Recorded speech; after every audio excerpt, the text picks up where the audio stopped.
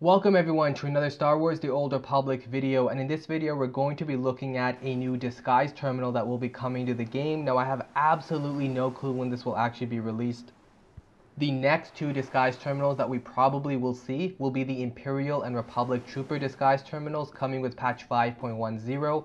I don't know about this Wookiee one, but that's basically what this new one is. It will allow you to disguise yourself as a Wookiee and gives you kind of these really cool abilities that you can do the role-playing opportunities are numerous. I just think in general these disguise terminals are really neat and cool to, to do in your own, own strongholds and stuff. So let's go ahead and take a look at this one.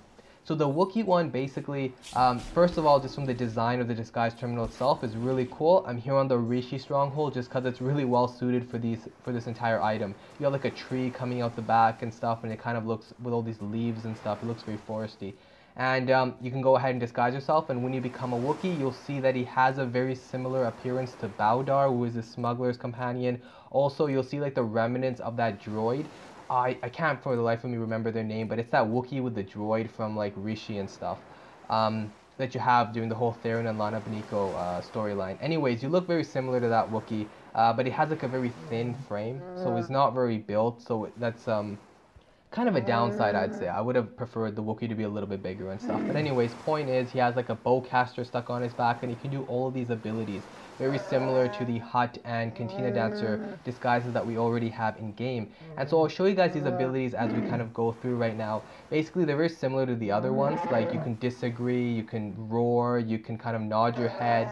Um, the cool one for the Wookiee is that you can actually uh, raise your weapon up in the air and do that sound, very similar to like what Chewbacca does in the original trilogy. And that's a really cool, nice touch to this one.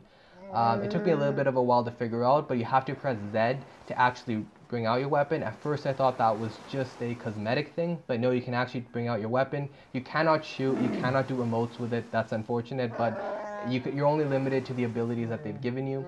However, the point is, it is still a really cool disguise terminal, and if pricing stays the same, it's going to be priced somewhere around 500 to 800 cartel coins.